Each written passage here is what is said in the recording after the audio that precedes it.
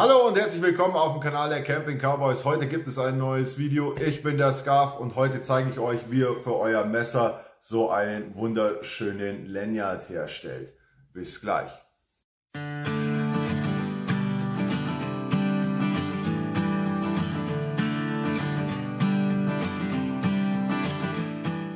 Willkommen zurück und für diesen Lanyard brauchen wir natürlich ein paar Sachen. Und zwar als erstes brauchen wir Paracord-Schnüre.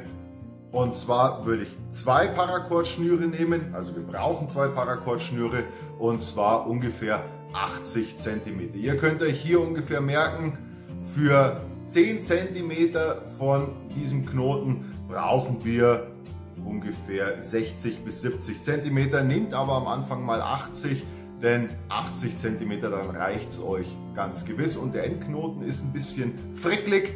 Da ist es schön, wenn man auch noch mal ein bisschen was vom Paracord übrig hat, damit man den Endknoten gut hinbekommt. Als zweites braucht man ein Messer oder eine Schere. Ich habe hier das MSP Backpacker. Damit lassen sich die, Schu äh, äh, die Paracord wunderbar abschneiden und man braucht ein Feuerzeug. Als allererstes nehmen wir hier innen ist die Seele drin und die Seele, die nehmen wir raus. Einfach abschneiden das Paracord und dann die Seele einfach rausziehen. Das machen wir bei beiden. Einfach die Seele rausziehen beim Paracord und dann merkt man hier, das wird schon sehr, sehr viel weicher und elastischer. Und dann kommen wir auch schon zum Anfangsknoten. Bevor wir anfangen mit dem Anfangsknoten, wollte ich euch nur noch kurz zeigen. Also hier haben wir einmal, wenn ihr die Paracord-Schnüre abgeschnitten habt, dann sehen die so ausgefranst aus und hier nicht und das kommt daher, weil man die am Anfang eigentlich etwas verkokeln sollte. Wenn man das nicht tut, dann fransen die total aus und dann tut man sich relativ schwer dabei. Als allererstes für den Anfangsknoten müssen wir das Paracord halbieren und zwar müssen wir ziemlich genau in die Mitte gehen. Da haben wir einmal hier ungefähr die Mitte und das gleiche machen wir mit der anderen Paracord-Schnur. Ich habe jetzt hier zwei Farben genommen, ihr könnt natürlich auch eine Farbe nehmen, aber hier jetzt gerade wenn ich es zeigen will, mit zwei Farben erkennt man es besser, wie es funktioniert. Dann nehmen wir die Paracord-Schnur hier zwischen Zeigefinger und Daumen und ein Teil schlagen wir zu uns und ein Teil von uns weg. Dann nehmen wir die andere Paracord-Schnur in der Mitte und legen sie hier zwischen die Finger rein. Also so. Und unten hier zwischen Zeigefinger und Daumen jetzt halt für die ersten zwei Knoten nicht loslassen. Und dann schlagen wir eine Seite nach drüben und die andere Seite nach hier. Am Anfang ist es ein bisschen fricklig, muss ich zugeben. Aber wenn der Knoten, wenn die ersten zwei Mal sitzen, dann wird es relativ einfach. Und hier gehen wir jetzt mit der Paracord-Schnur, die von uns wegliegt, gehen wir über den ersten drüber und unter dem zweiten durch. Also hier drüber und hier unten durch. Das gleiche machen wir auf der anderen Seite. Man muss aufpassen, dass sich jetzt hier die Paracord-Schnüre nicht überkreuzen. Also hier drüber und hier unten durch. Und dann vorsichtig festziehen. Und jetzt sieht man schon, man kriegt hier quasi so eine Kreuzung. Ganz vorsichtig festziehen. Am Anfang kann es sein, dass einem das sonst wieder auseinanderfällt. So ist es ganz hübsch. Und, die, und das, was wir jetzt gemacht haben, das machen wir eigentlich die ganze Zeit. Und zwar wieder einmal drüber legen, nach links, nach rechts Und dann kommt hier der vordere wieder oben drüber und unten durch. Und der andere auch wieder oben drüber und unten durch. Und dann wieder vorsichtig festziehen. So ungefähr. Und jetzt muss man aufpassen. Und zwar hat man jetzt, das ist jetzt der zweite Knoten. Also hier haben wir wieder die Kreuzung. Und jetzt haben wir unten drunter, haben wir hier diese Schlaufe. Und diese Schlaufe muss man jetzt nach dem zweiten, dritten Knoten, sollte man die nachziehen. Weil sonst habe ich hier unten eine lockere Para, ein lockeres Paracord liegen und das wäre ziemlich doof. Also hier an der Seite ein bisschen nachziehen. Und jetzt muss ich kurz gucken, wo es lang geht. Einmal hier. Einmal oben festziehen. So. Zweiter Knoten. Jetzt kann man loslassen. Unten wieder ein bisschen festziehen, weil ich habe es jetzt gerade gelockert. Und wie man sieht, ist jetzt hier unten die Schlaufe weg. Das wäre das wär ein großes Problem gewesen. Hier hinten lasst ihr ungefähr, naja, also so im gefalteten Zustand sollte das so 3-4 cm reicht eigentlich. Hier ist wieder die Kreuzung und jetzt schnappe ich das wieder hier unten zwischen Zeigefinger und Daumen und jetzt sieht man hier habe ich wieder die Kreuzung und unten ist die Schlaufe weg. Und dann geht das eigentlich die ganze Zeit so. Einmal nach links, einmal nach rechts. Das ist übrigens, ich habe jetzt gerade vorher habe ich die äh, grüne Schnur immer von links nach rechts gelegt und jetzt lege ich das äh, Tarnmuster von links nach rechts. Das ist völlig egal. Ihr könnt anfangen, wo ihr, wo ihr wollt oder weitermachen, wo ihr wollt. Da äh, bei dem Knoten ist es völlig egal. Und jetzt zeige ich es nochmal.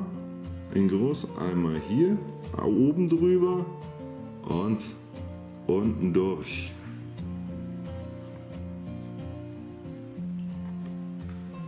Moment.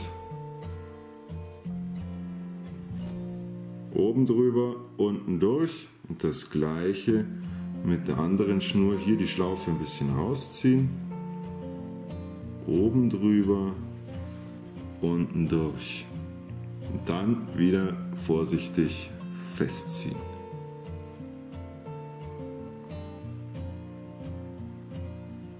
Und dann kriege ich hier wieder diese Kreuzung. Einmal zeige ich es euch noch.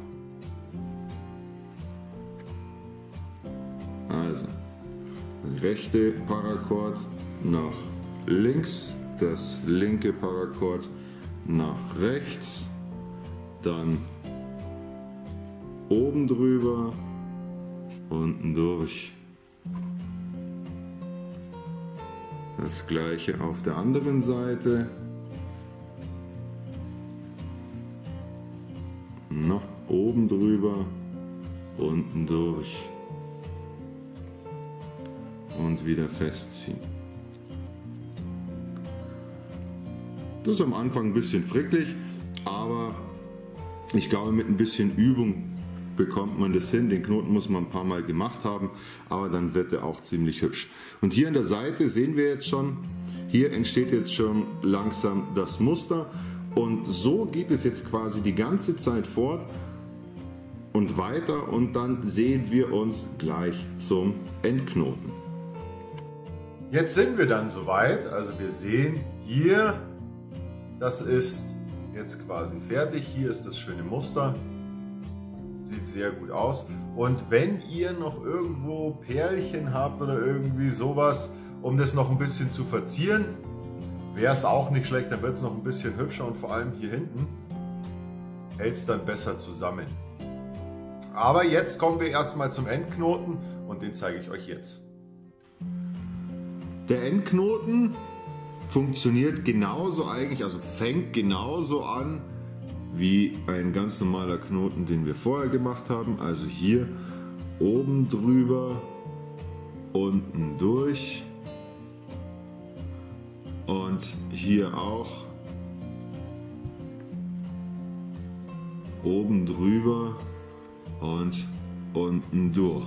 Der einzigste Unterschied jetzt ist, nicht festziehen, also wir lassen hier oben die Kreuzung, lassen wir jetzt so liegen und nicht festziehen, weil wir müssen jetzt hier in der Mitte in dem Loch, müssen wir raus. Und wir fangen jetzt hier an und jetzt gehen wir unten durch und in der Mitte raus. So. Nochmal. Unten durch. In der Mitte raus. Hier auch. Unten durch. In der Mitte raus. Kann jetzt ein bisschen nachziehen. Und für den letzten können wir jetzt nicht unten durchgehen. Und hier gehen wir jetzt einfach unten durch und oben raus. Da haben wir keinen mehr. Der letzte wird einfach durchgesteckt und dann vorsichtig alle vier schnappen, vorsichtig zuziehen und man sieht schon, wie der Knoten sich jetzt hier langsam festzieht und den muss man jetzt nach unten. Das ist noch mal ein kleines bisschen äh, eine Fummelarbeit. Hier muss man wirklich schauen, dass man wirklich alle außenrum nachzieht.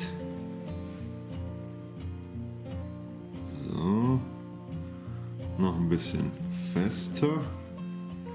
Und da muss man wirklich, da muss man jetzt noch mal ein bisschen spielen und den dass man den Knoten wirklich fest bekommt. So. Da ziehen wir hier nochmal. Da zieht sich jetzt hier der fest. Genau. Und dann machen wir hier, ziehen wir nochmal nach. Und jetzt hier Ah, wird schon langsam. Hier ist noch ein bisschen locker. Nochmal nachziehen. Das müsste dann wieder einer. Das ist auch das Schöne, wenn man zwei verschiedene Farben hat. Also hier ist jetzt locker. Und jetzt muss ich bloß an einem von der anderen Farbe ziehen. Gleich den richtigen erwischt. Sehr gut. Und irgendwann dann richtig, wenn man relativ weit unten sitzt, relativ festziehen. So dass er auch gut aussieht.